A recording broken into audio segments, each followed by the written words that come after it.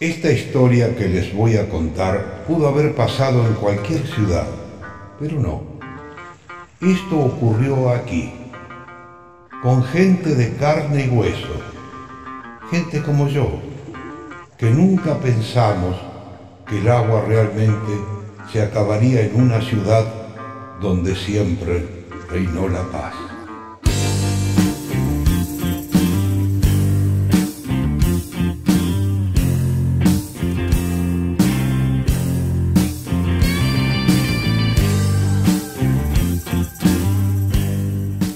El agua estaba en peligro y responsable de ello estaba suelto y dispuesto a cualquier cosa.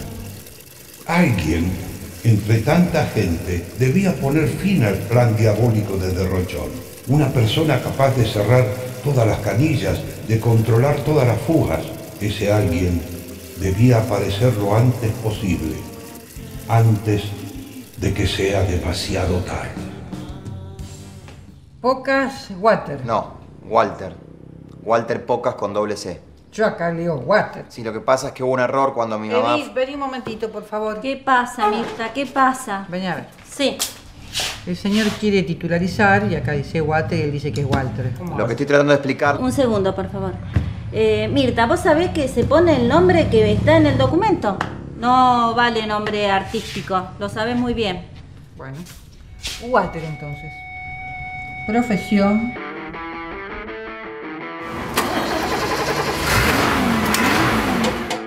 Herminia, ¿Sí? ¿qué pasó acá? No sé.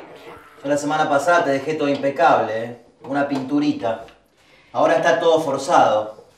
¿Alguien lo manipuló esto?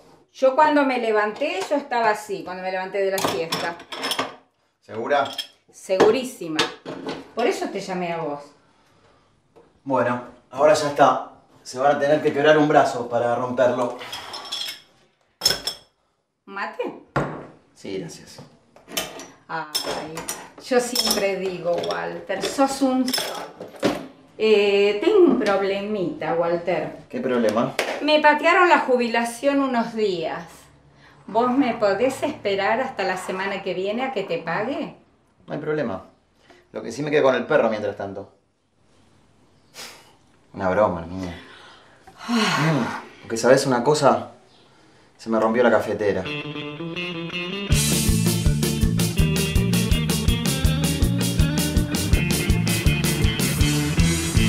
José, Es lo que te digo, José. La gente está como loca. Mira, cuando venía caminando para acá están todas las canillas rotas, las calles inundadas. No sé qué piensan. ¿Qué decís? Lo que te digo, la gente está tirando el agua. Son inconscientes eso. La semana pasada arreglé un montón de caños rotos, canillas, aspersores. Y recién te llaman contentos cuando tienen el agua por acá. Qué raro, ¿no? Raro no. Locos. Irresponsables son. ¿Qué te pasa? ¿Te sentís bien? No. Volvió. ¿Que la presión alta te volvió? Derrochón. ¿Qué decís? Vení, acompáñame.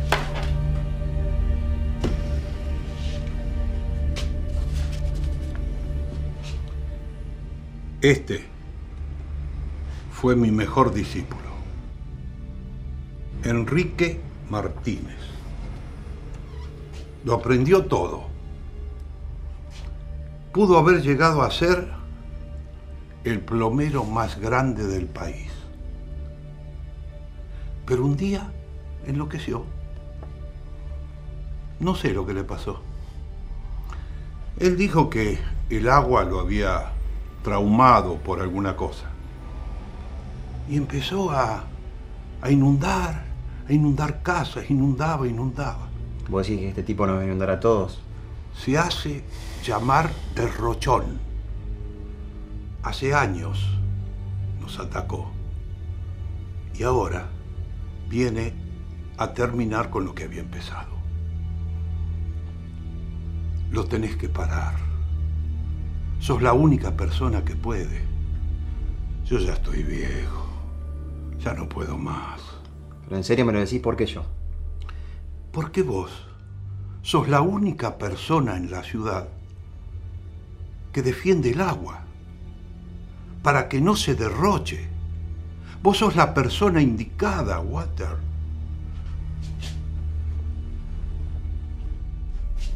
Toma.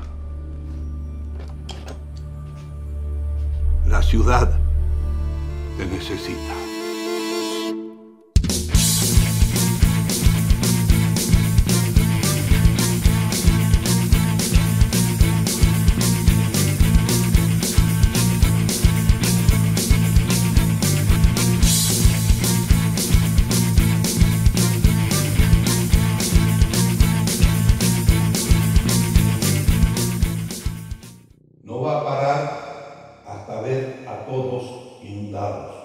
Sos un sol, Walter. Sos tan bueno.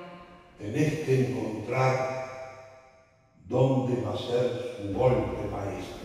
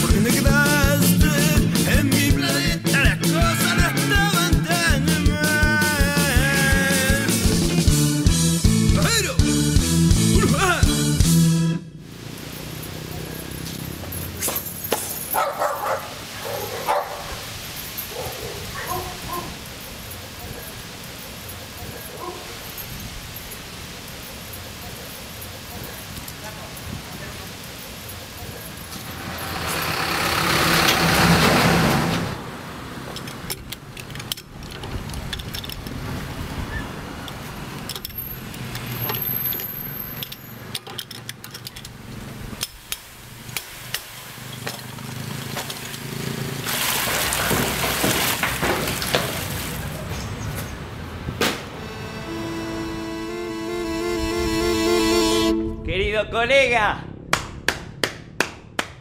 Muy bueno lo tuyo, pero ¿sabes qué? Llegaste tarde. ¿Y vos sabes qué? No sos tan bueno como dijo José. ¡Atrás! ¿Qué atrás? ¿Qué atrás? ¿Qué haces, querido, con esto? Vos y yo podríamos hacer grandes cosas juntos. ¿Sabes qué? Mejor para una fuga, un buen pegamento. ¡Ay! ¡Un caño roto!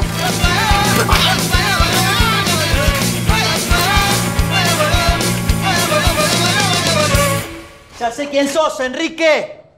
Volvé que lo solucionamos. Así fue como Walter Pocas, mi mejor alumno, pasó de ser un simple plomero a ser un héroe de toda la ciudad.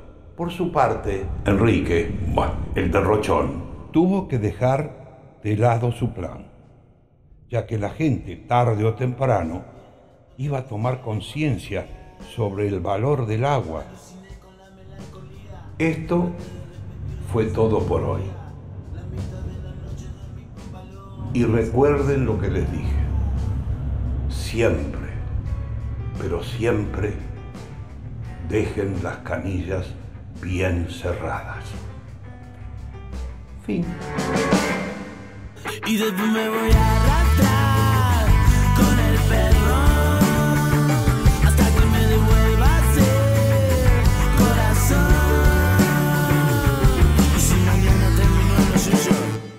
vas a recordar algún aniversario, me vas a perdonar por todos los pecados, te vas a emocionar.